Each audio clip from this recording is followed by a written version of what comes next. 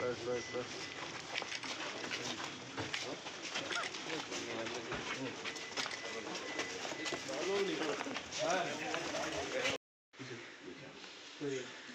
সঞ্জু মহারাজা বারবার বলছিল একটু আইতে দেরি হয়েছে না না ঠিক আছে তুমি ওয়েট করতে মিটিং তো চলবে শরীর প্রতি লক্ষ্য রেখে কাজ করতে হবে শরীর তো রাখবোই বৌদির আমি ভালো দিয়া চিন্তা হ্যাঁ সুধীর বাবু একটা ভালো রিলেশনশিপ ছিল আর ভদ্র January Ah, January, right? 2009.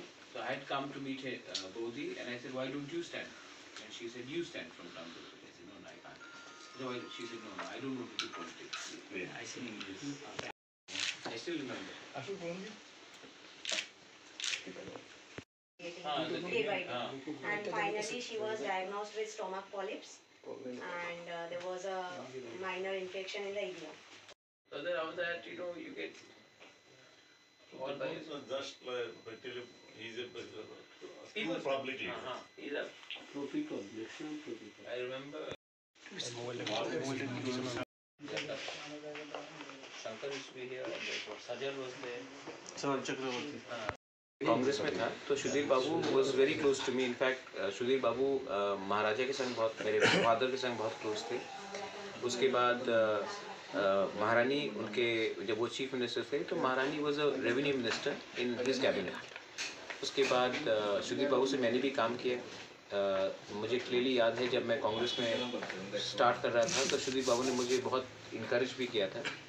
And uh, जब उनका देहांत हुआ था 2009 में तो तब से मैं बोधी मैं बोधी से भी बात मैंने बात किया था। Bodhi was in fact suppose to stand in the by election मैं खुद मिला उनसे और उन्होंने उस समय कहा था कि मुझे पॉलिटिक्स में uh, कुछ इंटरेस्ट नहीं है किसी और को दे दो। क्योंकि first choice from town Bardoli was in the by election Bodhi का ही नाम निकला था पार्टी से लेकिन उन्होंने खुद uh, ना बोला। एक डिफरेंट जनरेशन के लोग थे। सुधीर बाबू बोधी माय फादर महाराजा, महारानी, वो एक अलग जनरेशन था, जहाँ में थोड़ा सा इंटेग्रिटी रहता था पॉलिटिक्स में। जहाँ में लोग जब कुछ बोलते थे तो उसका मीनिंग वही रहता था। अब वो ख़त्म हो गया, इनके बाद इसे एंड ऑफ़ एन एरा बहुत दुख लगता है।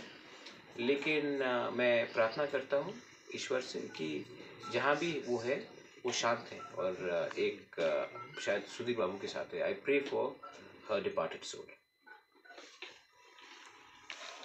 Thank you, sir. Thank you.